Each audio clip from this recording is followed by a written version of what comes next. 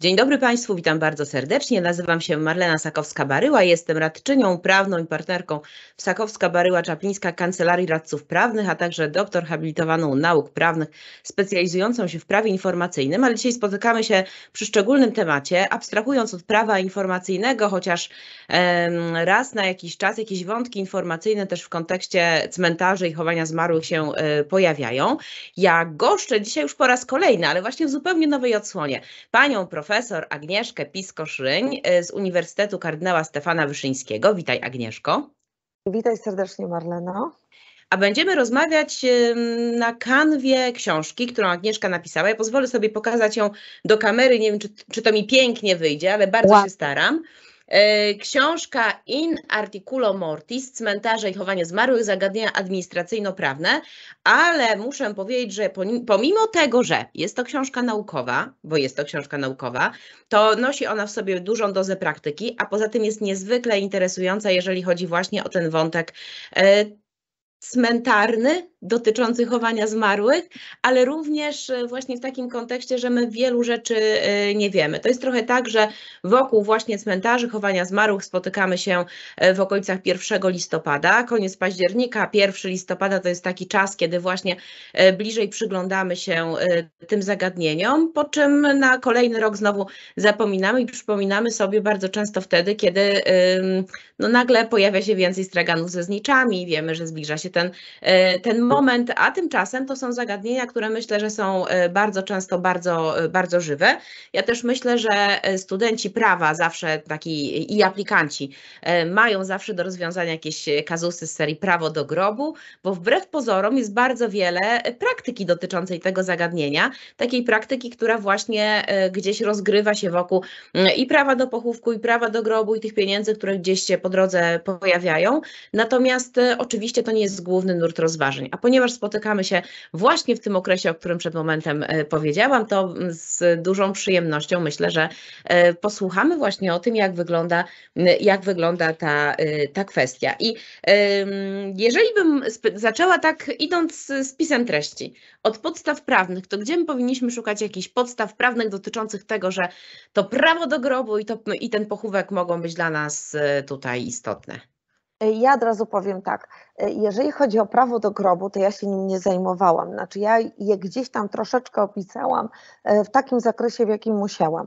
To jest zagadnienie typowo cywilnoprawne. Zresztą e, cywiliści także zastanawiają się, jaka jest istota tego prawa do grobu i jak ono powinno wyglądać, dlatego że z jednej strony jest to prawo o charakterze własnościowym, a z drugiej strony jest to prawo z charakteru dóbr osobistych i, tutaj Ja znów się tym nie zajmowałam, ale y, bardzo ciekawe są y, na przykład analizy wyroków sądów, y, gdzie rodzina sądzi się o to, co powinno być napisane na grobie.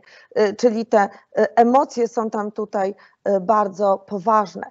E, Jeżeli z perspektywy administracyjno-prawnej, bo jednak pomimo tego cywilnoprawnego prawa do grobu, e, materia cmentarzy i chowania zmarłych to materia z zakresu prawa administracyjnego.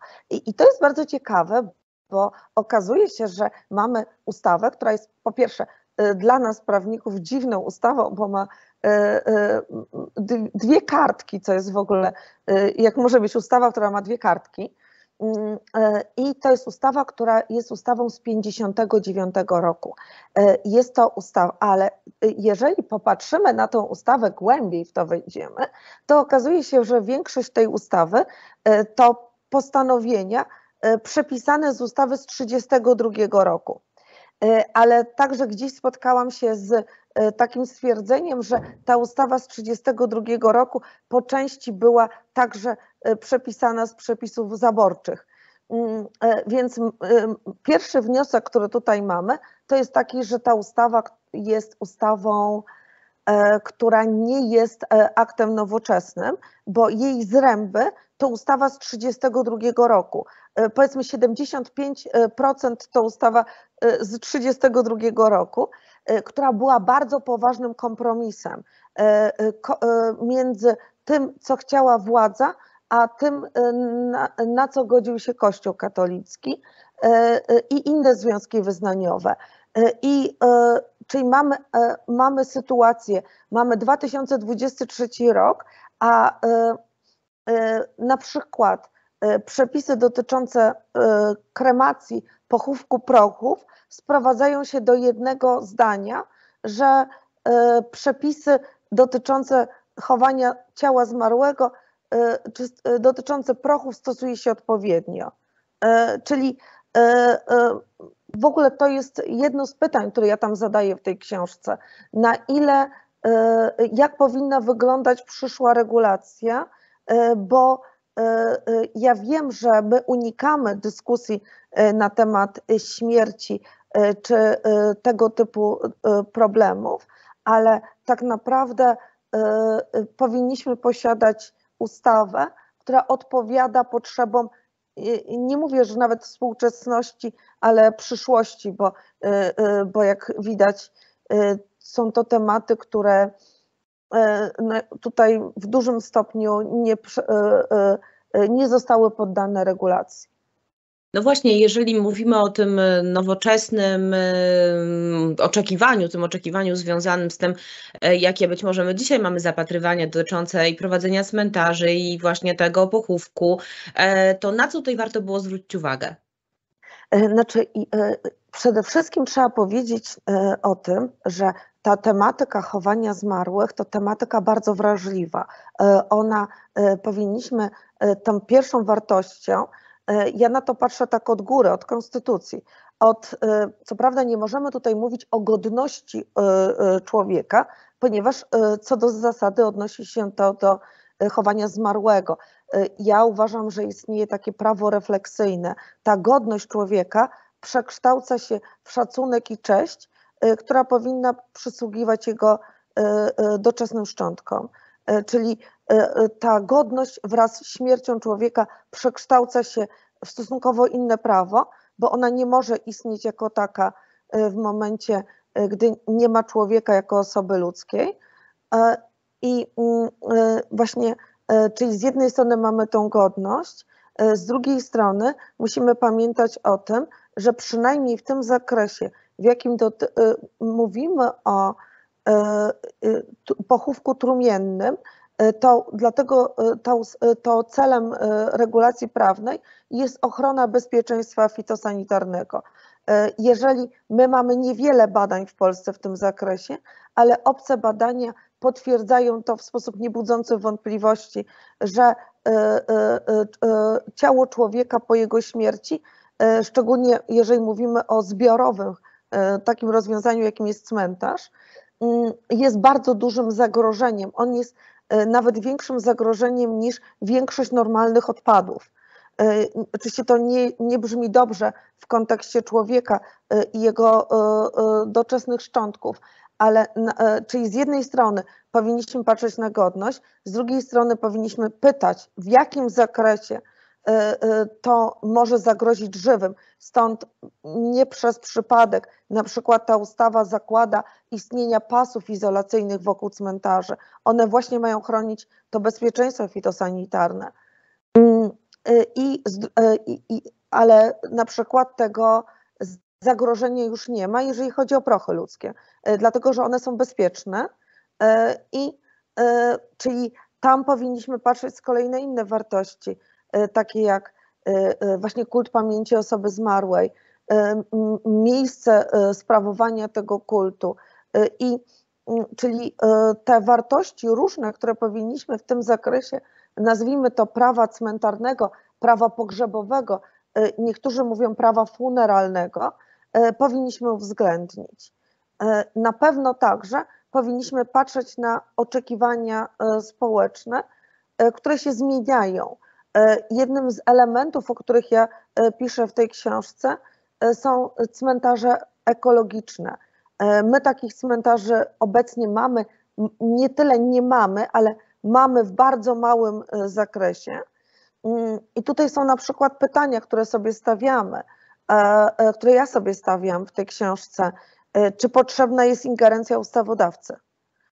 Czy wystarczy po prostu, żeby zarządcy cmentarza tak jak na przykład jest w Poznaniu, e, wytyczyli część cmentarza, który jest terenem leśnym e, i tam po prostu stwierdzili, że jeżeli ktoś decyduje się na pochówek w tym miejscu, to na przykład rezygnuje z tego, że nie stawia się płyt nagrobnych, nie stawia się, nie przynosi się sztucznych kwiatów. Jest to taki teren zielony, zachowany w maksymalnie niezmienionym stanie.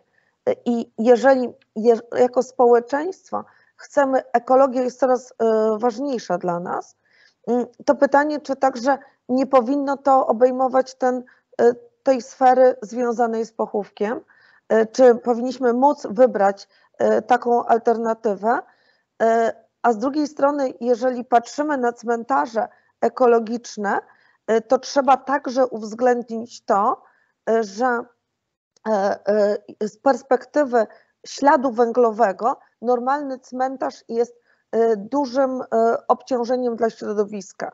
E, odpady na cmentarzu to odpady właściwie w większości nie poddawane utylizacji, dlatego że znicz musiałby być czysty, nie powinien mieć parafiny, żeby być, móc być wrzucony do plastiku czy do szkła. Mm, wiązanka nawet z normalnych kwiatów zawiera drut i plastikowe elementy. W związku z tym e, to są e, segregacja odpadów na cmentarzu, to ogromny koszt e, obecnie i również jakby właśnie ten ślad węglowy, który pozostawiamy. Z drugiej strony Polacy ubóstwiają, przynosić mnóstwo zastawiać groby e, z tego względu, e, e, ale powinno być takie miejsce, gdzie decydując się na pochówek, tam rezygnujemy po prostu, czy jest to miejsce zadumy, refleksji, a nie miejsce przynoszenia różnego rodzaju mm, różnego rodzaju właśnie takich artefaktów, jak cmentarnych. E, e, najczęściej niebiodegradowalnych. E, ja wychodzę z założenia w tej książce, że jednak jest potrzeba ingerencji ustawodawczej, żeby wytyczyć takie pojęcie cmentarza ekologicznego i także, żeby zabezpieczyć to, żeby on w momencie, kiedy powstaje jako ekologiczny, był taki do końca jego istnienia. To jest bardzo interesująca kwestia i e, szczerze powiedziawszy, ja się nigdy wcześniej nawet nad nią nie zastanawiałam, dlatego że dla mnie, no właśnie, to e, z jednej strony może stereotyp, z drugiej strony skrót myślowy. Dla mnie e, cmentarz co do zasady był właśnie tym skojarzeniem z tradycyjnym cmentarzem, właśnie tym z płytami nagrobnymi, z różnego rodzaju właśnie tym wszystkim, co stanowi odzwierciedlenie, odzwierciedlenie może powiedziałabym pewne uosobienie tego kultu kultu pamięci zmarłego, a z tym się właśnie mm, nam kojarzą i, i te znicze, i wiązanki. Obserwuję, że coraz, coraz piękniejsze, coraz e, bardziej obfite, chociaż e, nie wiem, czy piękniejsze za każdym razem jest właściwym e, określeniem. Może powinnam powiedzieć coraz bardziej ornamentacyjne i rozbudowane, bo to, to tak troszkę wygląda. Natomiast jeżeli mogłam Cię jeszcze o ten cmentarz ekologiczny spytać, to mm, nie ma w, przepisu, w przepisach standardów dotyczących prowadzenia tego cmentarza cmentarza, ale zakładam, że właśnie z uwagi na ten wątek ekologiczny pewne standardy w tym zakresie powoli zostają wypracowane przez praktykę. Czyli powiedziałaś już o tym, że to jest miejsce, do którego nie, nie przynosi się tych przedmiotów e, plastikowych, szklanych, drucianych. Jest to miejsce, w którym nie ma płyt nagrobnych, ale co tutaj jest jeszcze takiego charakterystycznego dla takiego ekologicznego cmentarza? My możemy, znaczy my, e, my mamy faktycznie bardzo rzadkie przypadki e, tych cmentarzy ekologicznych e, w Polsce. Te cmentarze ekologiczne w innych krajach są dość mm, powszechne. To mogą być różne jakby poziomy tej ekologiczności. To,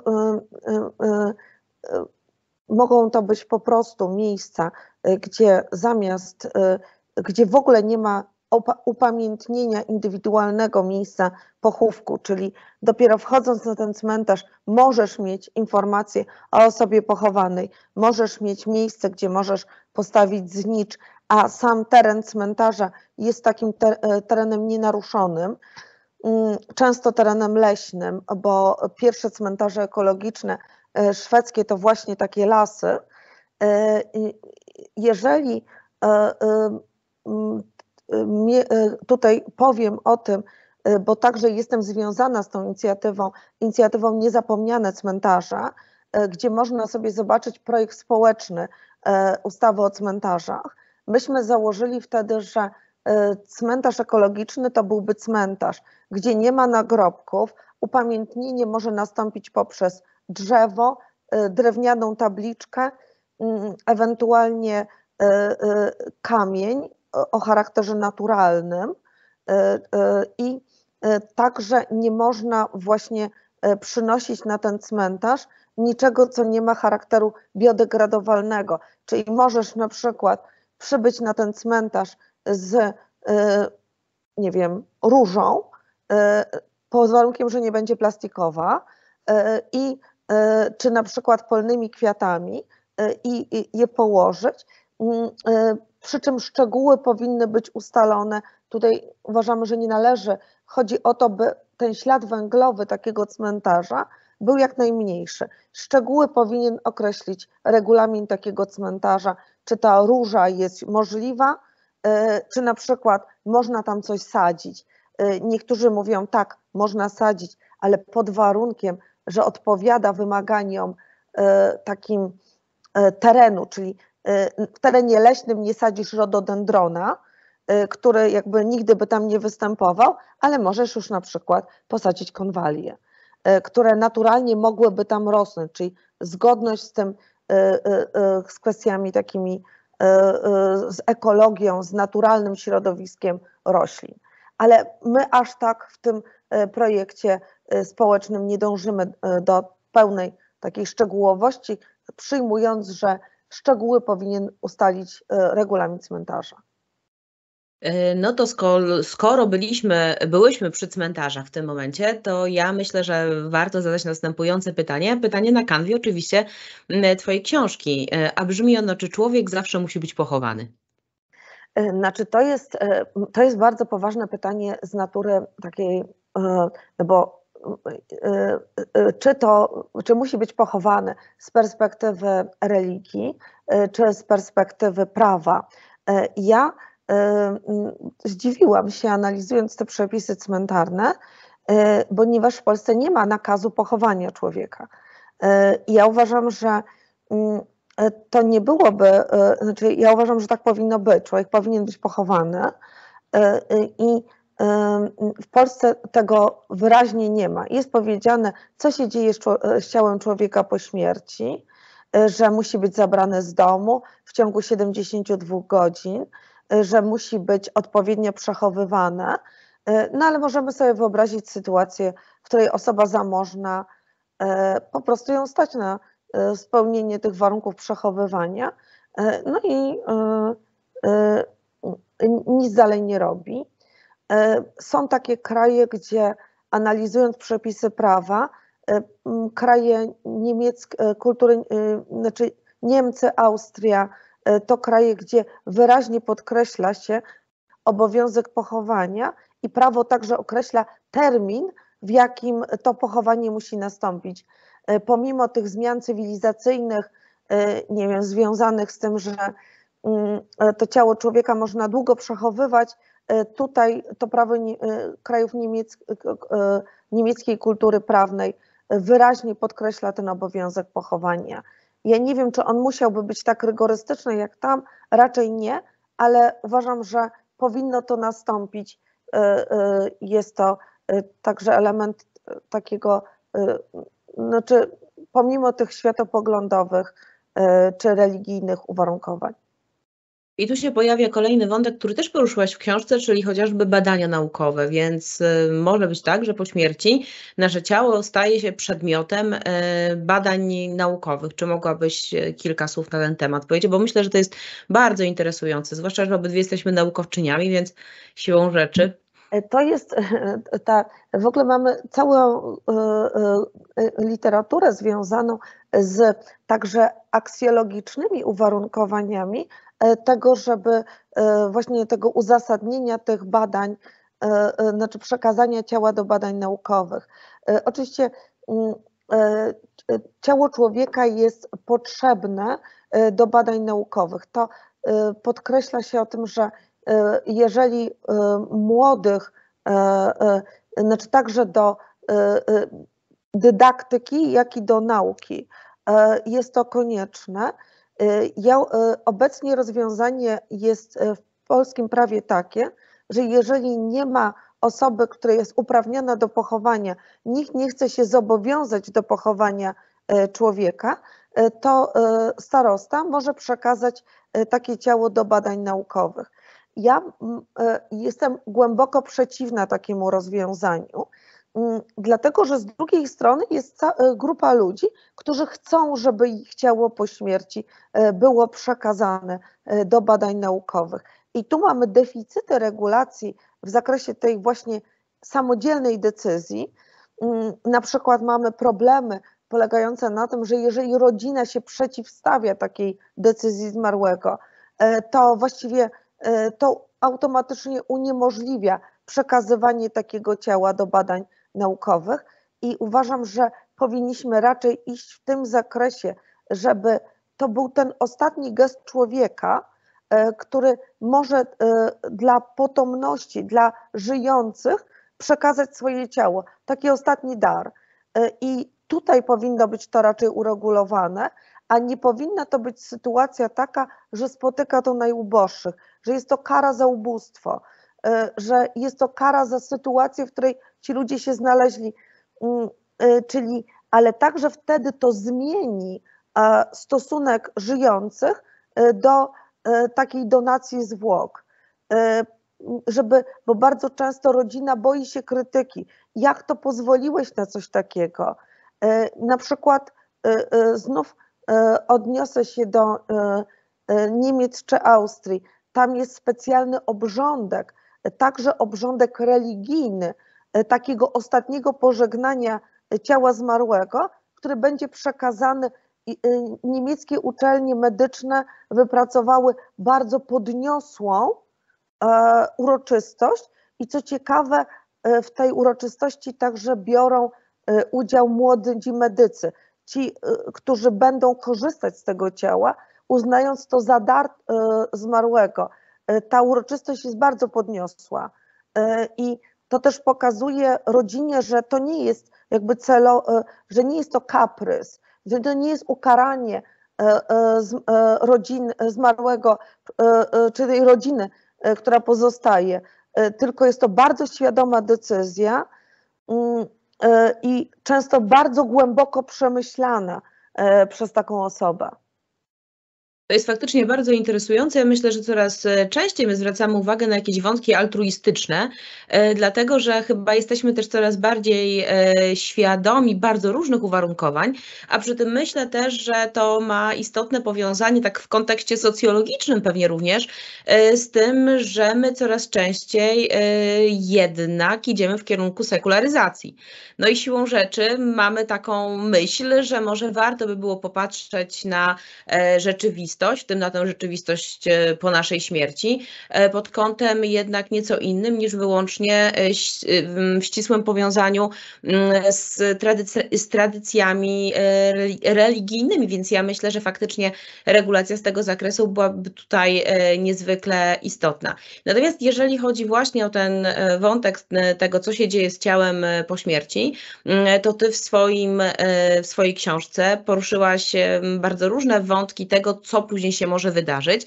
Między innymi właśnie mamy te, te, te badania naukowe, ale oprócz tego dość e, interesujący wątek chowania e, na przykład e, zmarłych na morzu i myślę, że zmarłych marynarzy, tutaj ta, ta, ta narracja też mnie niezwykle zainteresowała. Czy mogłabyś zwrócić uwagę, teraz już podsumowując naszą rozmowę właściwie, na te szczególnie takie ciekawe, interesujące, być może dla nas zaskakujące, jeśli tego nie badamy, sytuacje, w których może znaleźć się ludzkie ciało, ludzkie szczątki na, na koniec.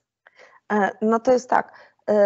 Przede wszystkim tutaj nasza ustawa obecna daje właściwie bardzo małe, małe pole w tym zakresie. Przede wszystkim, znaczy ona nie przewiduje, ona daje możliwość jedynie pochowania zwłok lub prochów. Jeżeli chodzi o pochówek na morzu, to tylko w sytuacji, gdy śmierć jest na statku i to w wodach międzynarodowych, czyli w trakcie długiej podróży mm, i statek nie może zawinąć do portu. Wtedy jest pochunek na morzu. Nie ma możliwości E, tego, co daje prawo większości krajów europejskich. E, I powiedziałabym, Polska jest w tak zdecydowanej mniejszości, że jeżeli byśmy pokazali mapę, to e, właściwie nie wiem, czy jest drugi taki kraj, który jest tak rygorystyczny co do alternatywnych form pochówku, czyli nie ma możliwości rozsypania prochów zarówno na cmentarzu, jak i poza cmentarzem nie ma możliwości na przykład zatopienia ciała człowieka w biodegradowalnej urnie. E, I ja na razie badając ustawodawstwa innych krajów, e, powiedzmy pozostając w państwach członkowskich Unii Europejskiej, e, to nie spotkałam się z tak rygorystycznym rozwiązaniem. I jakby inne państwa dopuszczają tą możliwość. Mm, nie zawsze, czyli tutaj my nie mamy e, tych e, rozwiązań takich e, alternatywnych. I pytanie jest dlaczego? No ja tego nie wiem. Na pewno przeciwstawia się temu Kościół katolicki. Czy, czy słusznie, to już każdy sobie na to może pytanie odpowiedzieć. Mm, ja mogę tylko powiedzieć w ten sposób, że niedługo ukaże się raport, który mam przyjemność koordynować ze, z punktu widzenia naukowego. On zawiera badanie opinii publicznej dotyczące nowych form pochówku i z niego wynika jednoznacznie, młodzi ludzie, szczególnie wykształceni, ale w ogóle generalnie młodzi ludzie nie widzą problemu z tym, żeby rozsypywać prochy. Gorzej jest na przykład z trzymaniem urny w domu, bo o to też pytaliśmy, ale zobaczcie Państwo, jeżeli chodzi o to, że mm, trzymamy taką, znaczy z tym rozsypywaniem prochów, one są neutralne biologicznie. E, nie każdy człowiek, to nie chodzi o to, by było to rozwiązanie dla każdego, tylko żeby ci, którzy tego chcą, mogli to zrobić zgodnie z prawem. E, czy obecnie mogą to zrobić niezgodnie z prawem? Tak mogą. E, wystarczy, że wykupią najtańsze miejsce w kolumbarium i Mm, tam będzie stała pusta urna albo z popiołem z kominka, a y, prochy, co się z nim stanie, to już zdecyduje rodzina. Jestem daleka od tego, byśmy szli w bardzo nowoczesne rozwiązania, na przykład decyzje co do trzymania urny w domu, ale uważam, że możliwość przy zachowaniu pewnych ograniczeń, związanych właśnie z, e, z jednej strony e, tym godnością e, człowieka po jego śmierci, tą refleksyjną godnością, a z drugiej strony z poszanowaniem praw osób żyjących. Nie bez powodu większość państw mówi o tym, że można rozsypać prochy na morzu, ale najczęściej 3 mile morskie od linii brzegowej, żeby nie było sytuacji, że tutaj jedni się kąpią, a drudzy rozsypują prochy. E, czyli powinniśmy dyskutować o rozwiązaniach, e, na przykład, gdzie tego nie powinniśmy robić, mm, jak powinniśmy to robić, e, czy też powinniśmy na przykład dyskutować o tym, czego jestem zwolenniczką, że każdy powinien móc za życia decydować o tym, co stanie się z nim po jego śmierci. E, I uważam, e, żeby można było zabezpieczyć swoją wolę za życia, e, która będzie respektowana po śmierci. Ale, ale to jest, to nie znaczy, że jeżeli ja na przykład zabezpieczę swoją wolę poprzez to, że chcę być pochowana w trumnie w sposób tradycyjny, to również, czyli to nie tylko chodzi o to, żeby te nowoczesne, nazwijmy to, pomysły e, mogły być realizowane, ale także, żeby zabezpieczyć tych, dla których to jest ważne, by odbyło się to w sposób tradycyjny.